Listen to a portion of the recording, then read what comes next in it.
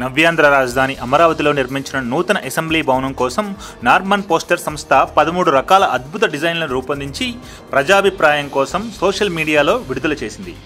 ఇటీవల ఈ సంస్థ రూపొందించిన వజ్రాకృతి స్తూపాకృతి డిజైన్లను ప్రభుత్వం తొలుత ఖరారు చేసినా విస్తృత సంప్రదింపుల తర్వాత ఈ డిజైన్లను చంద్రబాబు తిరస్కరించారు. మరింత మెరుగైన డిజైన్ల కోసం దర్శకుడు రాజమౌళిని ఏపీ ప్రభుత్వం సంప్రదించింది. ఈ నేపథ్యంలోనే మంత్రి నారాయణ సిఆర్డీఏ కమిషనర్ చెరుకూరి శ్రీధర్ లండన్లోని నార్మన్ పోస్టర్ కంపెనీ ప్రధాన కార్యాలయాన్ని సందర్శించారు. ఈ సందర్భంగా అసెంబ్లీ డిజైన్లు ఎలా ఉండాలో రాజమౌళి వారికి సలహాలు ఇచ్చారు. దీంతో ఆయన సలహాలు సూచనల మేరకు సంస్థ కొత్తగా మరో పదమూడు డిజైన్లను రూపొందించింది.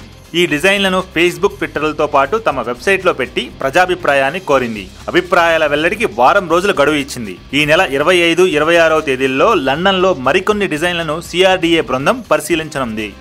ఏపీ అసెంబ్లీ భవనం కోసం నార్మన్ పోస్టర్ డిజైన్ చేసిన పదమూడు రకాల అద్భుత డిజైన్లను ఇక్కడ మీరు కూడా చూడండి.